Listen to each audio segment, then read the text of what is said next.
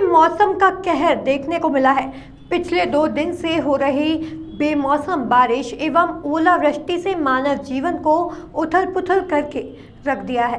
ज़िले के गढ़हरा शिवपड़ी मकरोहर, देवसर बैठन एवं चित्रंगी जनपद के कई दर्जनों गाँव में बेमौसम बारिश के साथ हुई। ओलों की बरसात से किसानों की दहलेनी फ़सलों का नुकसान हुआ है। आम, महुआ, सरसों, चना, मैसूर की फ़सलें बर्बाद हो गई हैं। ओलों की बारिश से किसान परेशान होते दिखाई दे रहे हैं। ज्ञात हो कि दिसंबर, जनवरी माह में कोहरे की कहर से किसानों के दहलन की फ़सल ज़्यादा नष्ट हो गई थी।